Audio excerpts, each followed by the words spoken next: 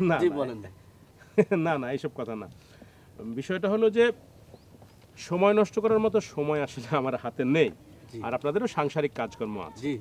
আমি একটু কথা বলি আপনারা শোনেন। জি বলেন। মাছ ডাকাতি কীভাবে করতে হয় এটা কি আপনারা জানেন? জি আমি একটু বলি। হ্যাঁ বলেন। ধরেন গাবতলি থেকে সবাই বাসে উঠলাম। একসঙ্গে পাশাপাশি? না পাশাপাশি কেন? এক একজন এক এক জায়গায় এরপরে ড্রাইভারে জোর করে তুলে দেব। শুরু করব কাজ। এটা একদম পানির মতো সহজ। না হলো না। তাইলে? আমি কই? বলেন। পয়লা বাসে উঠে হ্যাঁ।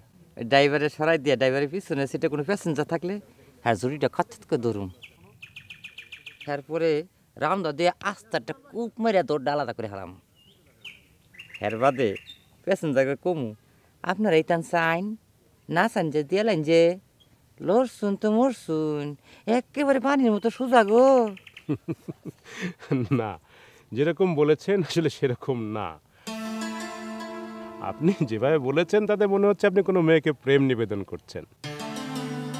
বিষয়টা যে কোনো রকমের খুন খারাপই, এই যে মুন্ডু আলাদা করে দেওয়া, এটা চলবে না।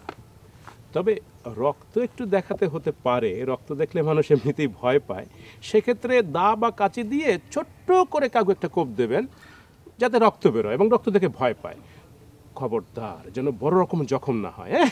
মানে আমার মো? অল্প আস্তে। শোনেন বস এর আগে আপনার সাথে অনেক কাজ করছি না। করছি তো অসুবিধা হয়েছে কোনো অসুবিধা হয় নাই। তাহলে এবারও কোনো অসুবিধা হবে না নিশ্চিন্তে থাকেন। তবে এবার যদি আগে বাস ডাকাতি করছে এরকম লোক একটা দিতেন তাইলে ভালো হইতো। গুড দ্যাটস গুড ইন্টেলিজেন্ট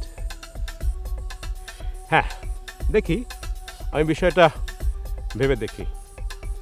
আর আপনারা ফিজিক্যালি এবং মেন্টালি আই মিন শরীরে এবং মনে তৈরি থাকবেন, যেন আমি খবর দিলেই আপনারা রওনা দিতে পারেন ওকে তাহলে আজকে এ পর্যন্তই। উঠি বন্ধুরা, খোদা হাফেজ। আসসালাম আবার দেখা হবে